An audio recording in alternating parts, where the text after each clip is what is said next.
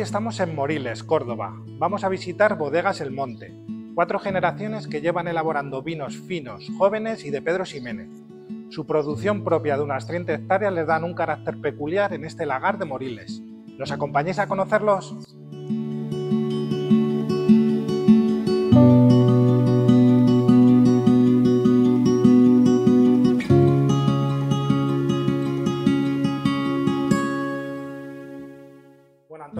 Lugar, darte, la- darte las gracias por habernos recibido. Y Encantado. la primera pregunta que te vamos a hacer en la entrevista es, ¿cómo nació esta bodega? Bueno, pues como toda casa de vecinos, pues mi abuelo tiene que partir la, la finca matriz, que era Los Naranjos. Entonces a mi padre le toca la parte del Laga del Monte, que data del siglo XVI, y bueno, pues él con su afán de, de superación y continuidad con la comercialización de los vinos que, que estaba realizando anteriormente en Los Naranjos en conjunto con, con mi tío Francisco, decide de crear el casco de, de Bodega del Monte.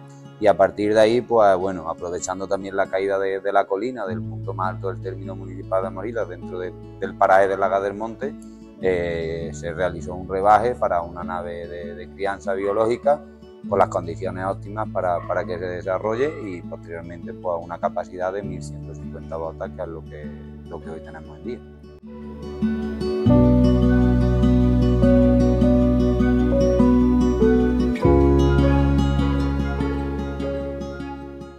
Antonio, ¿qué es lo que más os ha costado hasta llegar aquí?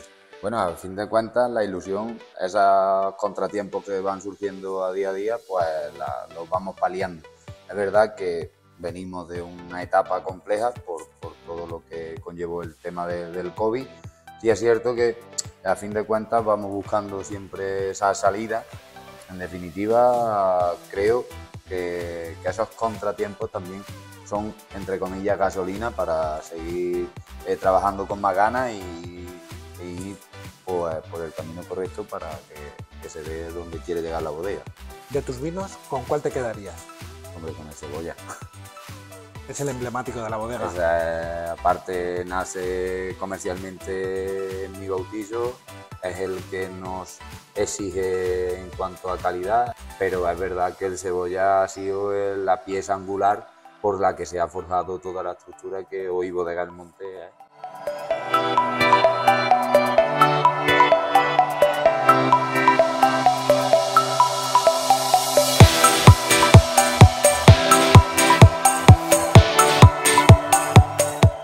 Bueno, estamos con Chiqui Antonio. Chiqui es la hermana de Antonio, es una de las propietarias de la bodega. Chicos, ¿qué es lo mejor y lo peor de trabajar en familia?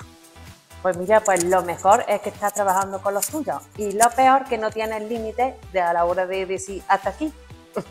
¿Cómo os veis dentro de 10 años? Bueno, pues con una importante presencia a nivel exterior, con una propuesta enoturística mucho más eh, experiencial de la que ya hoy en día damos. ¿Me podríais llevar a vuestro lugar favorito en la bodega? Sí, vente, que te llevo. Venga.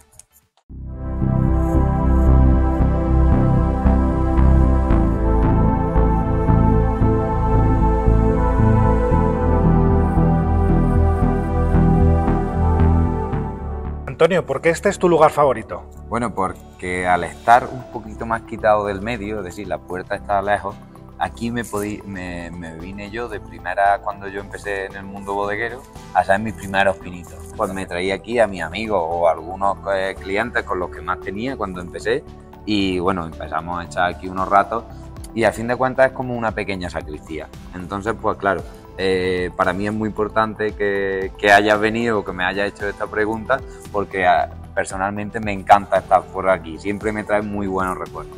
Bueno, pues vamos a aprovechar ya que estamos aquí para que nos des una masterclass del arte de venenciar. Perfecto. Bueno, lo más importante para el arte de Venecia, evidentemente, es tener una Venecia.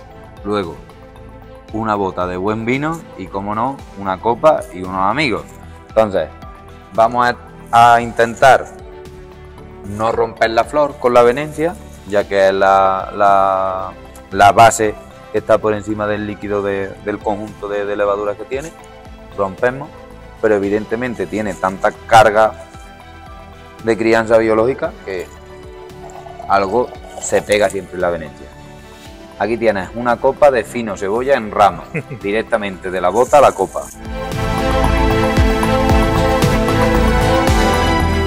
Bueno, entonces dime por qué vamos a brindar. Bueno, pues vamos a brindar por vuestra visita, Descorchando en Bodega, por el equipo de Descorchando en Bodega, por Bodega del Monte y que dentro de 10 años, que estaremos en un punto muchísimo más alto los dos, nos agradezcamos y sepamos valorar esta bonita amistad que ha nacido hoy. Nos volveremos a ver. Gracias.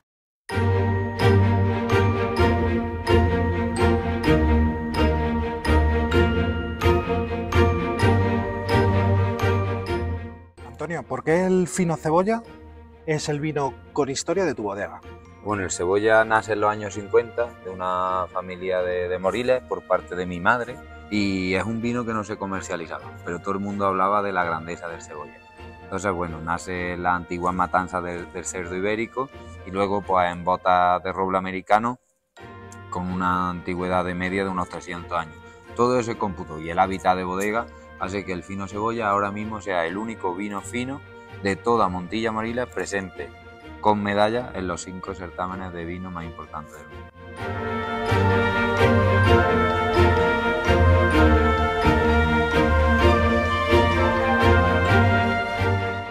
Bueno, estamos con Antonio, es el padre de Antonio y Chiqui.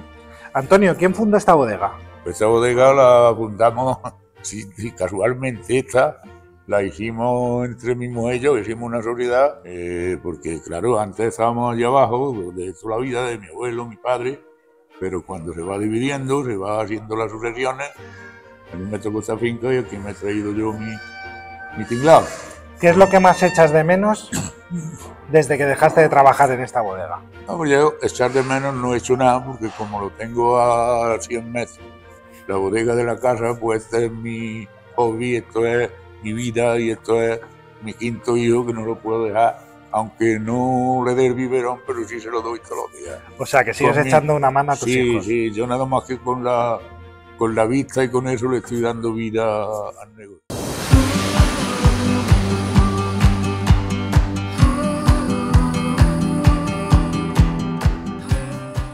El primer vino que vamos a catar es Si- Simenium Quen Blanc, las variedades Sauvignon Blanc y Chardonnay. Y Antonio, cuéntanos un poquito más de este vino que vamos a catar mientras yo lo, descorcho. Perfecto. Pues nada, eh, la gama del Simenium son cinco vinos. Eh, en este caso, el Buen Blanc viene a representar la idiosincrasia y la identidad de los vinos que se elaboran a partir de las tierras albarizas de, Moriles Altos. Entonces vamos a tener un vino aromáticamente que representa perfectamente lo que es una Sauvignon Blanc una Chardonnay de libro, pero luego en boca vamos a intentar que tenga ese poder carcario, esa salinidad, esa sapidez que nos ayude gastronómicamente a acompañar aquello que hayamos decidido poner en la mesa. El siguiente vino que vamos a catar es Fino Cebolla, es el vino emblemático de la bodega y tiene crianza biológica. Háblame un poco de la crianza biológica de este vino. Para que una etiqueta ¿no? o un vino te ponga fino, necesitamos dos cosas fundamentales. Uno, la crianza biológica, el velo de flor que vemos eh, sobre el nivel del vino, y luego un sistema de soleras, la bota que pega al suelo, y criaderas, que serían la- las botas que, que le preceden, ¿no? las, líneas, las líneas de arriba. A nivel visual, estamos hablando de un vino prácticamente que es en rama directamente de la bota, de todo el componente salino, almendra, levadura, mucha sapiencia, mucha elegancia, mucho volumen en boca, una salinidad exquisita. El siguiente vino que vamos a catar es Simenium Singular Cast. Es eh, 100% Pedro Ximénez. Entonces aquí tenemos 15 años de crianza biológica, 10 años en crianza oxidativa en botas de 250 litros y luego 10 años en bocolles de 700 litros que han tenido previamente Pedro Ximénez. Entonces vamos a tener un componente salino y almendrado, un componente de, mueble viejo de, antaño y luego e- ese poder abocado, esa melosidad ¿no? que nos va a aportar la, la bota de Pedro Jiménez. Muy bien, pues aquí agradecerte, sabemos que estás muy solicitado, agradecerte el recibimiento que nos habéis dado y esperemos volver a vernos.